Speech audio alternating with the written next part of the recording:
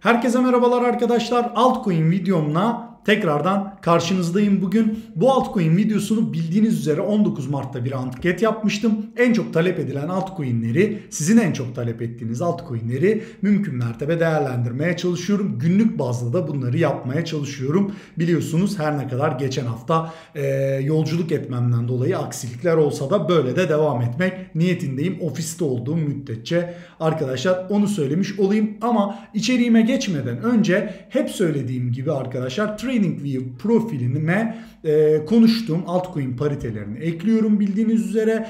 Dün konuştuklarım SRM, ADA, NIO, ONT, XRP hepsinde eklemiş durumdayım. Bunların üstüne tıklarsanız bunlar interaktif tablolar. Ee, yüklediğim tarihten içinde bulunduğumuz tarihe kadarki hareketleri görebilme imkanı sunuyor. Aynı zamanda benim e, konuştuğum seviyeleri de net olarak küsuratlı bir şekilde görmeye imkanı buluyorsunuz. Eğer videonun açıklamalar bölümündeki linke tıkladığınızda tablolar açılmıyorsa İngilizceye şu dil ayarlarını şuradan İngilizceye çevirmeniz gerekiyor arkadaşlar. Bunu söyledikten sonra birinci paritem olan HOT'a geliyorum. HOT'ta son derece parabolik bir hareket söz konusu. Bu tip parabolik hareketlerde arkadaşlar e, teknik anlamda hareketin nerede sona ereceğini söylemek ne yazık ki mümkün değil. Açıkça onu söyleyeyim. E, burada yukarıda genelde psikolojik alanlara dikkat etmek gerektiğini sadece bir tüyo olarak söyleyebilirim. Mesela üstümüzdeki psikolojik alan ne? 0.02 seviyesi. Onun üstünde işte 0.025 seviyesi olabilir. Onun üstünde 0.03 yani 0.30 seviyesi olabilir. Buraları izlemekte fayda olabilir. Eğer bir tradersanız ve bir şekilde hata geçtiğimiz günlerde girdiyseniz mesela şu konsolidasyon evresinde girdiyseniz takribi olarak hali hazırda zaten %100'lük bir marj yaptıysanız kısa vadeli trade pozisyonlarından çıkmak için yeterli bir marjdır bu. Tamamen çıkmak mı? Hayır. En doğru strateji burada malınızı çekip karınızın bir kısmıyla beklemek olur. Ama uzun vadeli hot yatırımcısıysanız zaten takdir sizin. Orada uzun vadeli beklemekte düşüşleri alım fırsatı olarak görürsünüz ve sonuna kadar trend devam ettiği müddetçe devam edersiniz. Burada kısa vadeli trendi izlemek için şu EMA'ları izlemenizi tavsiye ederim. Bu EMA'ların üstünde kaldığı müddetçe eğer orta ve uzun vadeli bakıyorsanız e, trendde kalabilirsiniz. Arkadaşlar kısa vadeli trader için ama bu biraz daha riskli bir stratejidir. Hali hazırda zaten büyük bir kar marjı yakalamış olmalısınız. Burada tabii ki takdir sizin. Ben sadece perspektif kazandırmaya çalışıyorum.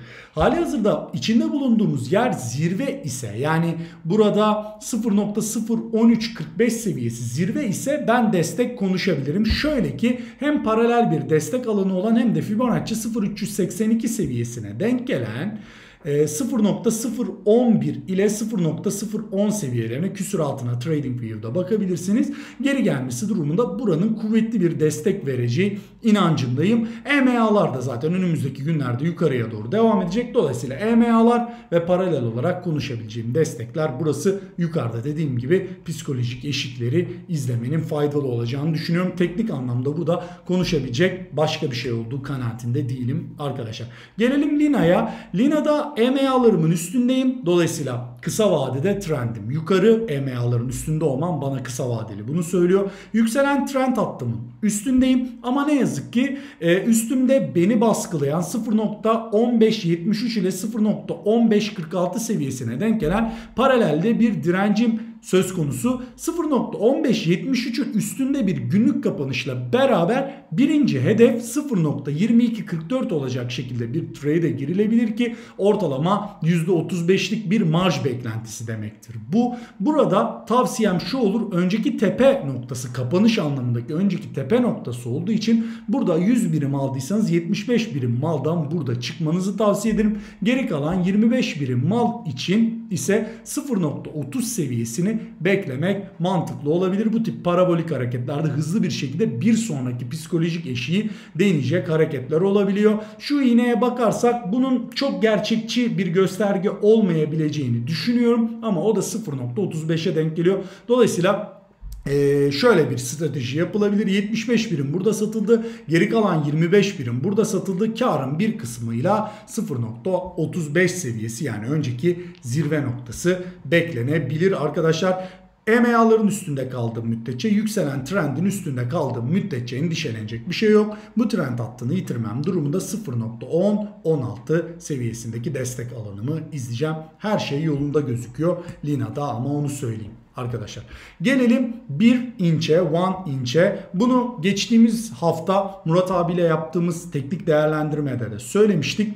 E, hali hazırda zaten 4-5 gündür yukarı yönlü bir trend görüyoruz. E, 4.56 seviyesinde paralel bir direncimiz vardı. Dün onun üstünde çok net olmasa da bir üstünde kapanış gerçekleştirdik. Dolayısıyla bu 4.56'nın destek vermesini bekliyoruz. Burada e, hali hazırda günlük kapanış bunun üstünde olduğu için trade'e girilebilir. Burada birinci hedefimiz önceki tepe noktası olan 5.04 5 olarak düşünebiliriz. Ama burada marjımız hemen hemen %7'lik 8'lik bir marj olacaktır. Dolayısıyla 100 birim aldıysak arkadaşlar burada 50 birimini satıp e, garantiye geçebiliriz. İkinci hedef için ise önceki tepe noktaları olan 5.84 seviyesini bekleyebiliriz. Onun altına bir hedef girmek durumunda %25'lik bir marj beklentisi olur ki burada da geri kalan %50'yi yani 50 birimi satabiliriz. Kısa vadeli strateji için Üçüncü hedefimiz ise burada Fibonacci 1.618 seviyesi 8.37'ye denk geliyor ama 8 seviyesini kabul etmek bence daha rasyoneldir. Çünkü psikolojik bir eşiktir. Dolayısıyla burada 50 birimi sattık. 50 birimi burada sattık. Karımızın bir kısmını bırakarak 8'in birazcık altına bir hedef girilebilir. Mesela 7.87 seviyelerine girilebilir arkadaşlar. Şu anda iyi gözüküyor. En azından önceki tepe noktalarını önümüzdeki günlerde denemesinin oldukça muhtemel olduğunu düşünüyorum. EMA'ların üstündeyim. Dolayısıyla kısa vadeli trendim yukarı. EMA'ları yitirmem durumunda 3.61 seviyesindeki şu paralel desteği izleyeceğim. 3.61'i yitirmem durumunda ama hızlı bir şekilde 2.47-2.29 seviyesindeki paralel desteğe doğru bir satış baskısı görmemiz muhtemel gibi gözüküyor ama şu anda one inch'te de her şey yolunda arkadaşlar. AMB. AMB'de de yükselen bir trendin üstünde olduğumu EMA'larımın üstünde olduğunu görüyorum. Ama burada trade'e girmek için doğru olan stratejinin 0.099'un üstünde bir kapanışla burada yükselen tepe yaptıktan sonra girmek olduğunu düşünüyorum. Birinci hedefimiz burada 0.1398 seviyesinin altında 0.1398 seviyesindeki direncin altına bir hedef girmek olur ki %38'lik bir marj beklentisidir. İkinci hedefimiz ise ön önceki tepe kapanışı olan 0.14 0.15 e, diyelim ona düz olarak 0.15'in altı olur. Onda da %48'lik bir beklenti ile hareket edilebilir. Tavsiyem şudur ikisi arasında çok fark olmadığı için 100 birim buradaki kapanışla aldınız. 75 birimi burada 25 birimi de burada satıp çıkmanız olur. Zaten 0.15'in üstünde yeni fiyat keşfi alanı olur. Burada hedef olarak bir şey konuşmanın çok mantıklı olacağı kanaatinde değil. Sadece psikolojik olarak 0.20 düşünülebilir. Karın bir kısmı bırakılarak 0.20'de beklenebilir. EMA'larımın üstündeyim. Trendimin üstündeyim. Her şey yolunda. Trend hattını yani 0.082'nin altında bir günlük kapanışım beni 55 EMA'ya onun altında da 0.059 seviyesini deneyecek bir satış baskısı yaratabileceğini düşünüyorum. Ama şu anda her şey yolunda. E, dolayısıyla yukarı doğru kırılma ihtimalinin Bitcoin'de bir e, beklenmedik hareket olmadığı müddetçe yukarı yönlü kırılma ihtimalinin çok daha yüksek olduğu kanaatindeyim arkadaşlar.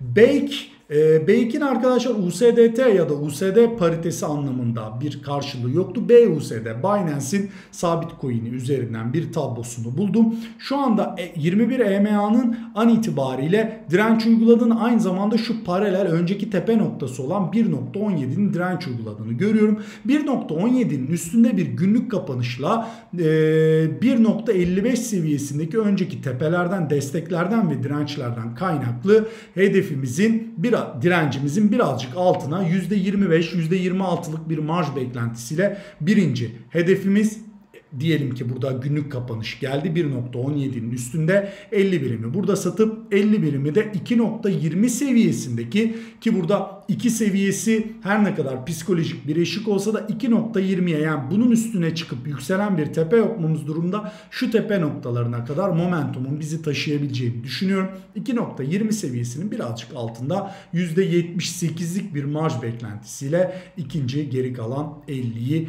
bekleyebiliriz. 50 birimi burada sattık, 50 birimi burada sattık. Karımızın bir kısmıyla önceki zirve noktası olan 2.67 seviyeleri de beklenebilir tercihen arkadaşlar. Burada hemen altında paralel bir destek alanım var. 0.97 ile 0.90'a denk geliyor. Burada psikolojik olarak bir seviyesi önemli. 1 ile 0.90 seviyesi paralel bir destek attı. 0.90'ın altında elimde bir veri olmadığı için nereye kadar satışların devam edebileceğine dair bir e, öngörüde bulunamıyorum ama şu anda e, bütün piyasada trend güçlü. Bitcoin tarafında bir sürpriz olmadıkça bunda da yukarı yönlü en azından şu tepeleri deneyecek bir e, hareketin son derece mümkün olduğunu düşünüyorum. Hep bu uyarıyı yapıyorum arkadaşlar. Altcoin'lerde teknik anlamda ne konuşursak konuşalım kısa vadeli trade anlamında Fiyat çoğu zaman riayet etse de günlük bazda baktığımız alanlara bunu defalarca gördük. Ama göbekten altcoin'lerin Bitcoin'e bağlı olduğunu unutmamak gerekir. Dolayısıyla Bitcoin'de yukarı veya aşağı ekstrem hareketler görmemiz durumunda altcoin'lerin teknik alanlarının genelde alternatif alanlarının etkili olduğunu, ilk izlediğimiz alanların etkisiz olduğunu defalarca gördük. Dolayısıyla bu detayı da hiçbir zaman unutmamak gerekir diyorum. Bugün söyleyeceklerimin sonuna geliyorum. Eğer içeriğimi beğendiyseniz beğen butonuna tıklamayı ve yorum yapmayı ihmal etmeyin. Yarın görüşmek üzere. Kendinize çok iyi bakın.